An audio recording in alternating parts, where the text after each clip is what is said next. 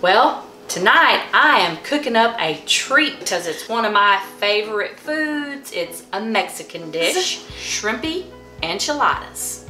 And these enchiladas have a green sauce on them. I'm not really a huge fan of red sauce, so I'm going with the green sauce and these are gonna be delicious. Pretty simple to make, um, but before we get into the recipe, I just wanna say, don't forget, all my recipes, including this one, you'll be able to find on my website. All you have to do is go to cookitfor2.com. That's cookitfortwo.com. You can go there, you can find my blog, my uh, recipes, uh, my cookbook is over there. So make sure you go over there, check it out. While you're at it, go to YouTube, subscribe to my YouTube channel and click that bell so that you'll get notified every time a new video comes out. And you can also find me on Facebook, Instagram, Pinterest, and TikTok. I think I've covered it all. So now that we've got all that out of the way, I would really appreciate any kind of comment, sharing, anything like that you can do because all of that helps my business. So thanks again. Um, now, what we're going to do is I have some oil heating in a skillet because the first thing that we're going to do is we're using corn tortillas for this. Enchiladas, um, sometimes they're made with flour tortillas too, but we're using corn.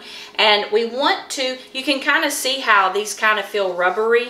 Well, what we want to do is we're going to soften them up, make them real pliable by putting them in this hot oil just for a little bit, about 10 seconds per side.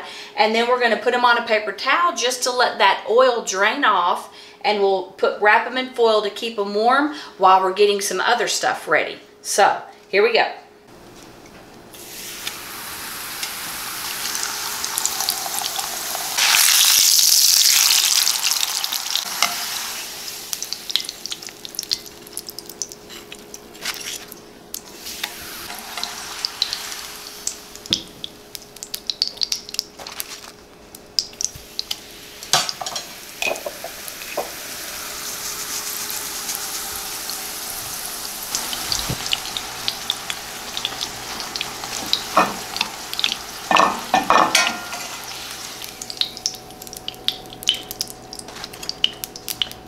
Tortillas are all cooked. They're in the on the plate underneath the foil, keeping warm. They're to just sit there and hang out for a little bit until I'm ready for them. The next thing that I'm to do is I'm to get some onion cut up. Um, so let's go to get to chopping this. Now, this is personal preference. You can, uh, you know, do a really fine chop. You can, you know, do a medium chop. It's just, or dice. It's just up to you um, how you want to do yours. I'm just going to kind of do a medium. Not a big deal here. I will say, though, I would love to point out, I don't know about any of you, but, you know, having a, a good knife is so important in the kitchen. This knife right here is awesome. This is a Princess House knife. It's the Sanat Sanatuco, I think is how you pronounce it. But um, as you can see, oh my gosh, it's stainless. Um, and what I love about it is it's so, it feels so good in your hand. Like it's, has a good weight, but yet it's light. So I just wanted to point that out. This is an awesome little knife. It's very easy to sharpen. You know, you can keep it good and sharp. So um, that's very important. They say a lot of times that people get injured more in the kitchen with dull knives than they do with sharp ones.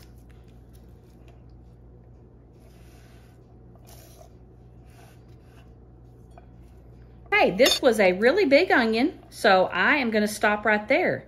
We love onion, but I think this is gonna be plenty for what we're gonna need it for tonight. So we're not gonna use this one. Let's just set this over here. I have coconut oil heating up in my skillet. You want a skillet large enough that you can, you know, put in, we're gonna add several different things in here. What we're gonna do first is our onions that we've been chopping up. We're gonna put those in there. And, and this is one of those times when I really wish there was smell-o-vision so you could smell because we're going to do onions and garlic and coriander and cumin. Oh my goodness, it is going to smell so good in here. Have, uh-oh, got a little piece in there. Okay, I have my onion in there. I'm going to go ahead and sprinkle about a half of a teaspoon of cumin and a half of a teaspoon of coriander. We want to season it up really well. Okay, and you know, you could even add a little chili powder. Actually, I think I might do that. This is some garlic powder. And I'm going to go ahead and I'm going to throw in a little bit of chili powder because, you know, we like it spicy. So let's put in some chili powder. Isn't that fun? I just love it, man. You're cooking, you can do what you want, add what you want, get it to taste the way you want it to. Okay, I'm going to get out my most used tool in my kitchen at just about my um, garlic press and I'm going to press this garlic in here so we can get this to cooking.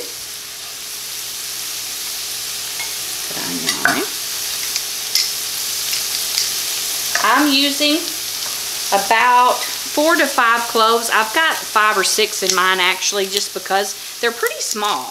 If you have a good size clove, probably about four cloves and you're good. And to let you know, yes, um, I'm cooking for two, but this I'm actually making, I could have halved this recipe very easily, but I'm going to make a full recipe because I have two separate dishes.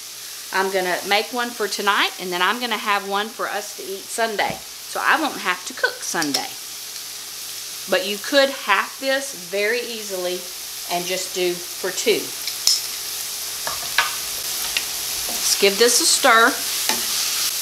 Remember, anytime you're cooking with garlic, you never want to just leave it sitting there for long. You want to get it stirring around because it will burn. And when your garlic burns, your dish is ruined. All right, I'm going to add a little bit of salt in there. And I'm going to add a little bit of pepper. Make sure we flavor or season every layer. I'm going to let this cook for a little bit and then I am going to turn my heat off just for a minute because I'm going to I'm going to dice up my shrimp just a little bit. Remember at the beginning I said this was shrimpy enchiladas. We're not doing chicken, we're doing shrimp. And I'm going to chop mine up just a little bit before I cook it. And I don't want my onions and garlic to cook too long. So what I'm going to do is, I have a gas stove, so it's pretty easy to do this. I'm just going to turn that off, let that sit a minute, and then I'm going to grab another board because I'm going to be chopping up shrimp.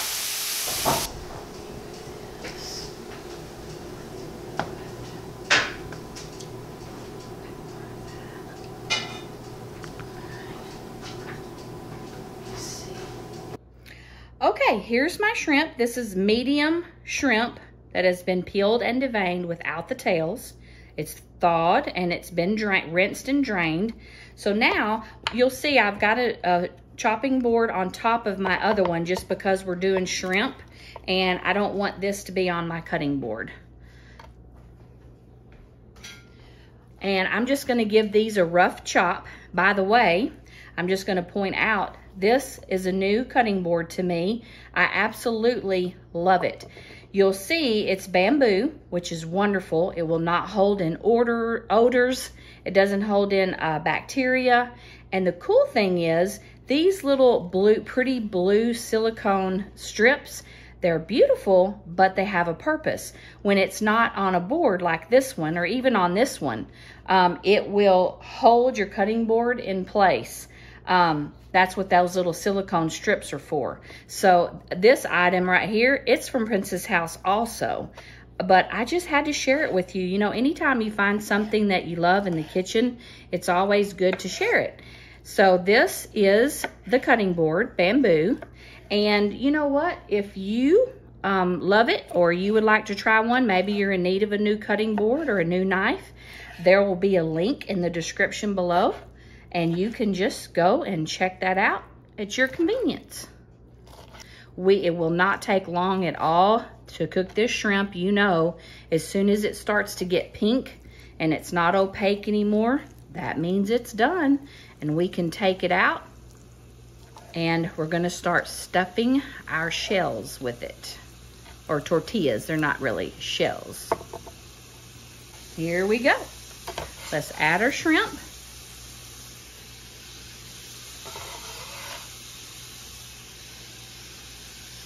Boy, it smells good in here. I'm using my other hand, not the hand I touched touch the shrimp with, and I'm putting a little bit more salt, a little bit more pepper. I'm going to sprinkle a little bit more garlic on there, and then I'm going to start stirring this up good and make sure that shrimp gets down onto the skillet. You can already see some of it is turning pink already. So let's get the shrimp good and cooked. Look how delicious that looks. Just a little reminder, make sure you watch all the way to the end of the video because I have another surprise to share with you that I haven't even told you about yet. You don't want to miss it. Okay, now I have some frozen chopped spinach that I have thawed and squeezed all the liquid out of it. You, that's very, very important. You want to make sure you get all the liquid out of your spinach because it can ruin your dish very, very quickly. Spinach has a ton of moisture in it, the frozen does. And so um, it's a really neat way. You can just stick it in a towel, like a, a kitchen towel, and you just roll it up like a taco. Fold the ends, you know, twist your ends kind of like your a piece of candy looks and just twist it as hard as you can and you'll see the tighter you get it, that liquid will just start pouring out of your spinach. And so you just want to make sure that you get all that liquid out. Now we're going to let this cook just for a few minutes and then we're going to start filling our tacos or our tortilla shells. Okay, we've had our little tortillas sitting over there resting. So now what we're going to do is we're going to take about, I would say, you know, a, a tablespoon, a little bit more than a tablespoon of our filling. We're going to put it on our shell. We're going to take about a tablespoon of, put that there where you can see it. We'll do about a tablespoon or so of cheese. Okay, and we're going to roll this up. And we're going to take the seam side and we want to put it down in our container or in our casserole dish.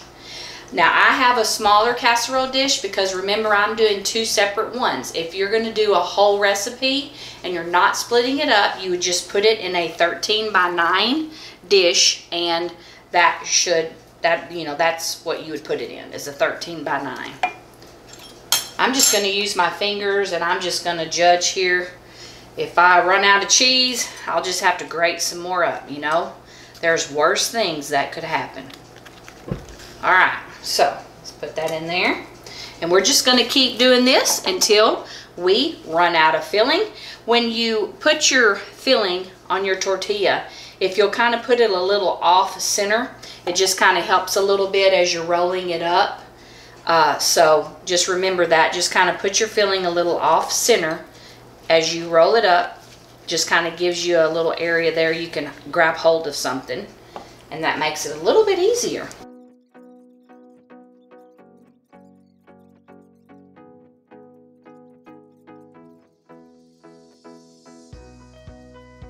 Got all these rolled up. Now what I'm going to do is, remember I'm halving this because I'm doing two dishes. If you had one dish, then you would put everything in your one dish.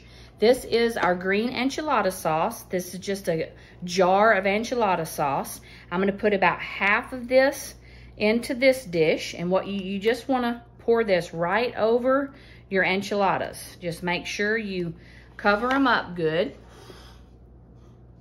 Mmm, that smells so good.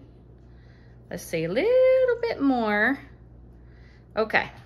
There now, I'm gonna take half of my cheese and I'm gonna sprinkle half of my cheese on this one and then I'll put the other half on my other one. I have some slices in here because when I went to use my food processor, I had the blade on there backwards. And so it was started slicing it instead of shredding it.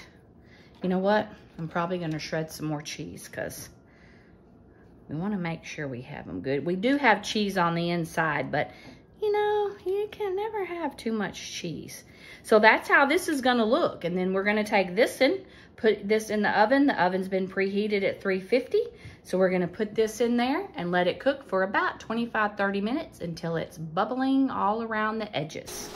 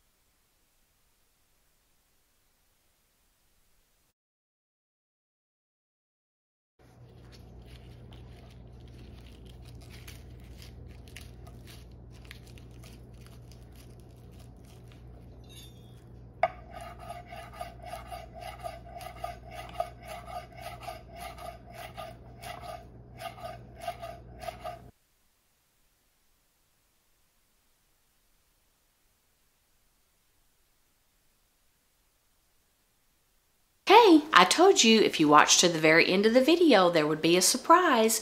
Here's the surprise. I don't know if you're familiar with it or not. I'm sure a lot of you are, but I fixed a Mexican drink to go with our enchiladas, and it is horchata. And what that is, it's a drink made out of rice, milk, water, sugar, and vanilla. And it is delicious. If you've never had it, you definitely want to try it. This recipe will be on my website. This drink just brings back really special memories because when our son was still alive, um, we had a big Mexican fiesta party and his wife, Jacy, made this drink and we all fell in love with it. So tonight, when we take a sip of this, we're going to be thinking of them.